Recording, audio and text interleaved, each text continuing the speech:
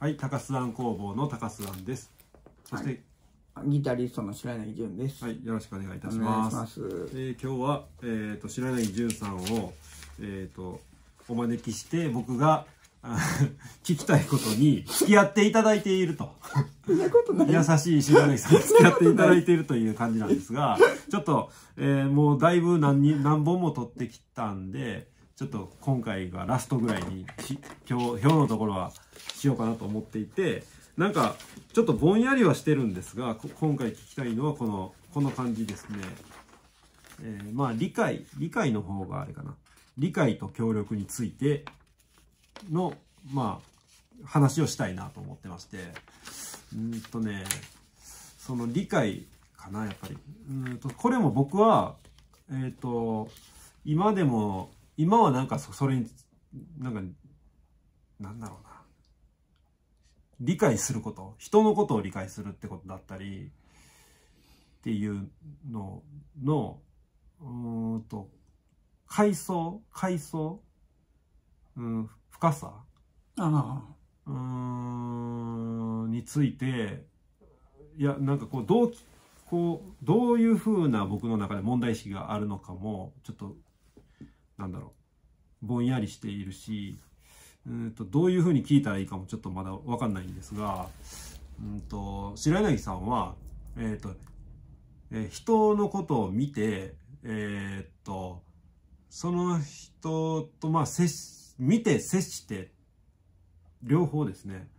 えっ、と、見るだけの時もあるし、接すると、接してっていうこともあるで、ありますけど、その、白柳さんなりの理解であり、それが、まあ大体の場合、僕が見てる限りでは、大体の場合、割とこう本質的に人を理解したり、えーで、その理解が深すぎて本人からえっと、理解が深すぎて本人から、まあ、感動されることもあれば、えっと、拒否されることもあり、みたいな風なのを、えっと、今まで僕は、は、なんかまあ、目の当たりにしたこと何回かあるんですよね。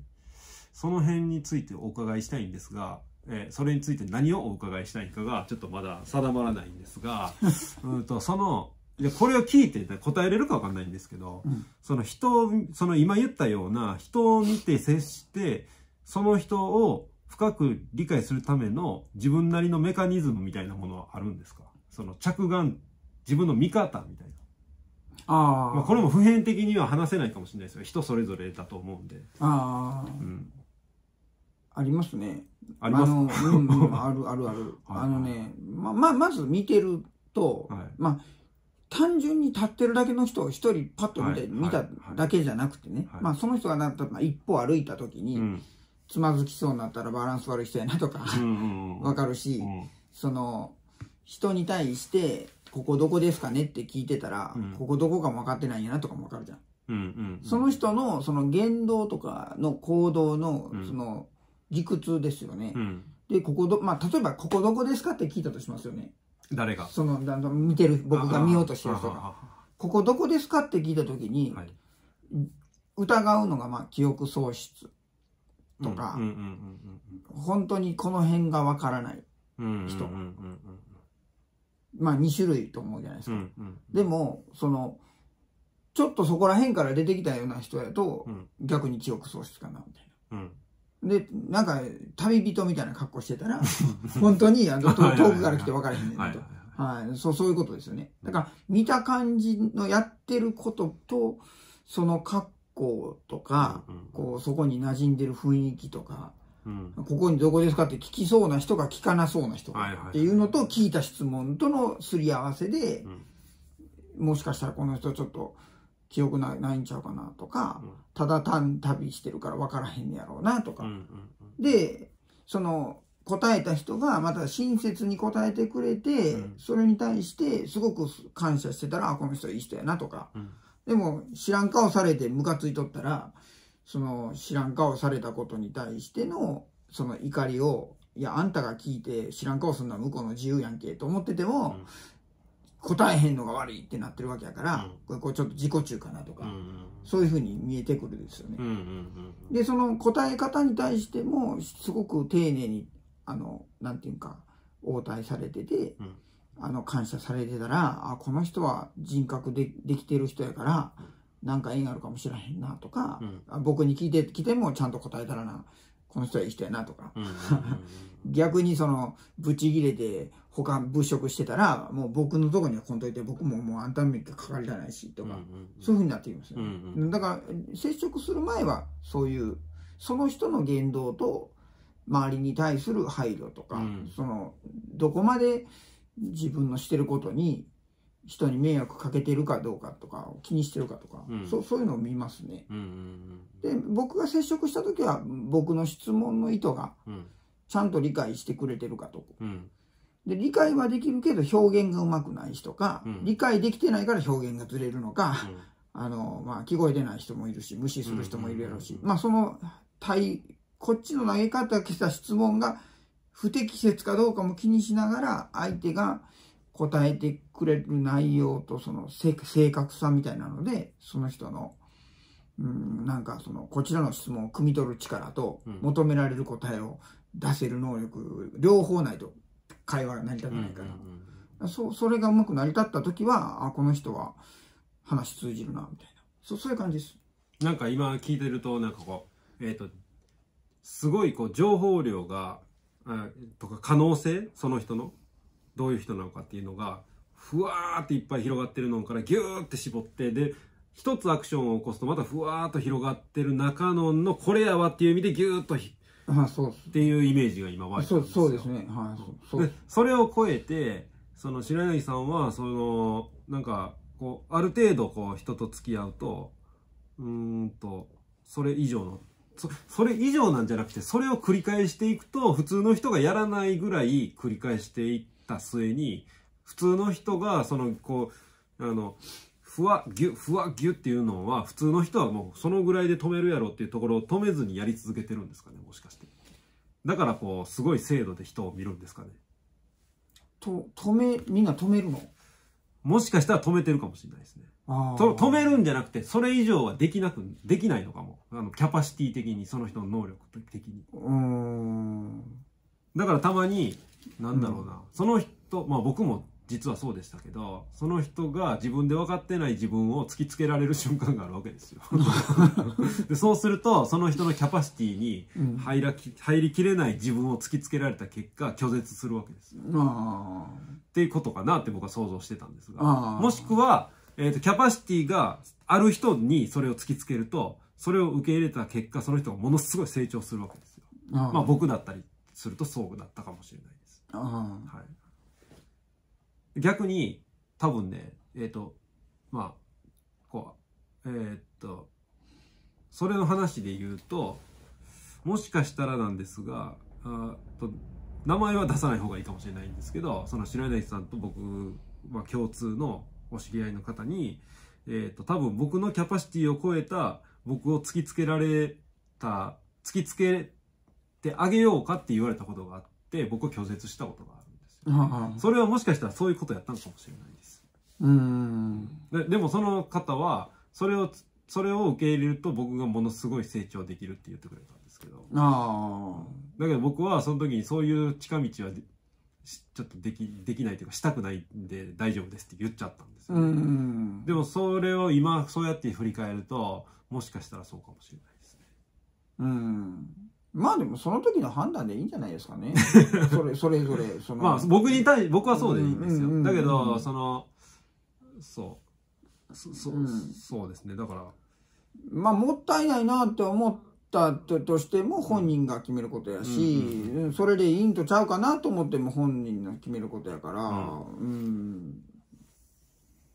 うん僕は別にその自分の判断を貫いてな後悔してないんだったら僕はそれでいいと思うんですけどね。うんうん。あまあだからそこはいいんですけど白柳さんうんうんのその見る能力とかうん。に対しては、うん。今こういう僕が言った感想とか、うん。まあその人が止めるかどうかっていうのは僕も分かんないんですけど、うん。あのどう思います？そその言われてみればもしかしたら人ってそうかもなとかって思ったりします？うーんまあ考えてない人もおるやろうなと思うし、ううん、でもそのなんか考えすぎな自分をやめとこうかなと僕は思わないですね、うん。自分はね。だからまああの考えて良かったことの方が僕は多いし、うん。うん、ただそのみんなにおすすめするかっていうとみんなはそれぞれねそれ考の。える時しんどいっていうか疲れます？僕はねそんなにしんどくないですね。うん、もう瞬間的に刺さってできる感じなんで、うん、なんかそんなに苦悩して答えを求めるっていうよりもパッと浮かんでくる感じなんで。うーん。でもそのパッと思い浮かぶのを無理やり今順序立てて話すとさっきの話になるさ順序立てて話すとさっきのようなプロセスになるってことですもんね。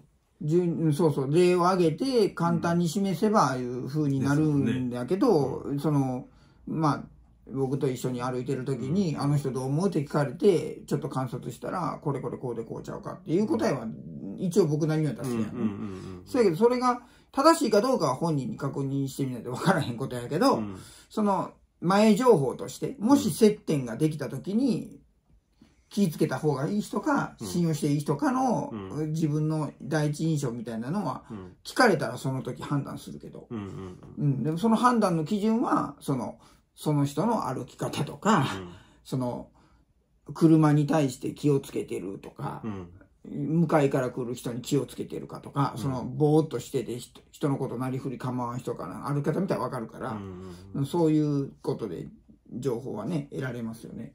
ううん。ん。そのつもりいやまあ。難しいですけどね普通の人にとっては。まあ僕にとっては。うん、僕はそうそう僕はあんまりそういうの見れないですあ外国とか行ったらね結構ねそういうのなんてむっちゃ大事ですね。大事かもしれないうんうん、だから言葉は通じひんし見てくれもいろんな人がいるけどやっぱり瞬間的に危害を加えてくる人とかは避けなあかんしね。うん、なんか問答無用で荷物持ってったりリュックの紐切られて取られたという人もいるから、やっぱり遠く離れてる時点でそれこそあのアフリカの黒人の人があのライオンより先自分がライオン見つけな逃げられへんとかうん。いうようなそのそういう感覚ですよね。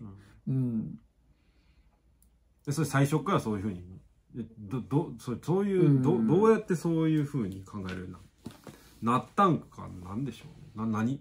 なんか僕あんまりはなんかねこここういう聞き方普段あんませえへんねんけど、うんうん、どこで覚えたんですか？みたいな、うんうん、僕はねなんかねちっちゃい頃からなんでなんでっていう子やったんで、はい。お父さんお母さんは割と答えれる範囲は答えてくれて分からんかったら本を与えてくれてみたいな感じだったんですよ。うん。そやけど学校行ったら面倒くさがる人もおれば、うん。中途半端な答えしか返せへん人もいるから、うん。家で聞くんやけど、うん。家で聞いたら僕はそれそれこそ悩みが瓦解するんですよ。やっぱりこうあるべきやんなみたいな。うん。こっちが聞いたことに全力で答えようとしてくれて分からんかったら本なり調べ方教えてくれるっていうのが人としてあるべきやろっていう感じやけど、うんないわけですよ、先生ですらその質問から逃げたりもする人もいるわけですよ。そういう中で、その、やっぱり自分の時間の無駄を省きたいから、うん。全員に聞きたくないでしょ。うんうんうん、いちいち跳ねつ、まあ、めんどくさられる。で、聞いて答えてくれたり、一緒に悩みを解決して一緒に喜んでくれる人を探すといううんためのツールかもしれない。なるほどかもしれないですけどね。うんでも、その嫌なやつを探すよりは、自分の悩みを晴らしてくれる人を探すのための能力やったと思いますね。多分。なんかなんでなんでってなる感覚は僕もわかるんやけど、うん僕の場合はちっちゃい時は何が知りたいのかもわからんかったぐらいの。あえっとこいちいちなんでなんでっていう風にはまあならんかったけどあ自分が何を知りたいのかもなんかわからんみたいな。うん。なんか薄ぼんやりとずっと霧がかかってる感じがずっとありましたね。あでだから人に聞くなんでっていう何か何対象もないんですよ。あ。ああ。分からんから。あだけどん多分そういう疑問とかうーんと、えー興味とかはあるので、うん。だからずっと本屋にいるわけです。あ。いたんですあ。僕。だと思いますね。うん。まあ、本屋にいても別にそんななんか難しい本は読んでないんですけどうん。プラモの本をずっと読んでるんですけど立ち読みで。うん。うん。だけどなんかこう社会の窓がそこにしかなかったのでうんまあ僕はね両親が答えをうんこう聞きゃ答えてくれる家やったから、誰彼なしに聞くっていうのがあの普通やったんですけど、まあね会った時は割と人になんか聞いても無駄というか。何を聞いてもいいかも分からへん。うんねだからそう実はだから自分で全部解決してきているからあれだけのものができるんやろうけど、うん、だ自分で全部解決してるかからこそ人とコミュニケーションも必要性がないからしあせえへんかまあなしたことないってことそうそうそう、うんうん。いや、必要性ないからしひんし、したことなくなるよね。うん。いや、でも俺、俺的には、なんか、あの、まあ、どう言ったらいいんやろな。あなたがこう、人から得るものもあるか知らんけど、うんそれは俺もそんなに保証できへんわ。全部自分でやってるから。うんそやけど、全部自分でやったあなたからうん得るものや、ある人はいっぱいおるから、うんなんか世のため人のためにコミュニケーション身につけてくれみたいな感じだったね。あ世のため人のためにね。僕は今まさに世のため結構人のためにもうん。あのなんかこうやりたいっていうのがうん大きなモチベーションの一つなので、うん。まさにそうなりました そうなることができました うん。でこんな誰も前にいないのに、うん。こんな機械に向かって喋るっていうことができ まだね一人で喋ることはまだできないですよ僕でもああ。恥ずかしくて、ああ。まあ、ちょっとやってみたはやってみたしそのうちやると思いますけどうん。え僕もなんかあの、お奥さんが横におって聞いてて、まあ自分なりに喋るけど、あの、ダメ出し入ってカットして繋いでとかしてるけど、ノーカットでしょ？だってずっとね。はいうん。僕は、さすがに、なんか一人で喋って、一人でスイッチ切って、一人で編集してって、ちょっとできない。結構大変厳しいですね気持ち的に、うんうんうん、なんかもうそこまでして自分の作品の説明もええかみたいな気持ちになるけど。えでもちょっとどう撮れてるんかが確認しながらだとちょっとよやりやすくないですか？いや僕ねちょっとこれもええんやけどあのやっぱり隣におる人に信頼があるから僕あーまあそれはそうですね。も 安心してやってるから。一人で自分でやってるのと違って すごく。まあということであの、はい。あの結論はさっき白柳さんが言ってくれたところで今雑談です。多分ああはい。まあもう今ここ余談の部分ですね。あまあでも切らないですけど、ということでまあ今日はあの初めてあのゆうきこのやり始める前から一緒にやろうって言うてたのに全然こう機会がなかったのが できたのが良かったですね。ただちょっと内容はここう難解でしたね 難解な動画うんになりましたけど、あまあそれもそれかなと。うん。いうことで ありがとうございます。ご協力ありがとうございます。どうもありがとうございはい。あでもまあまあ、やりたいことは僕は、あの、まあ、荒削り以下ですけど、できましたね。ありがとうございます。どうも取れてたの今の食べてますよ、今でも。あ、ちょっと待って。え？あ取れてるんやね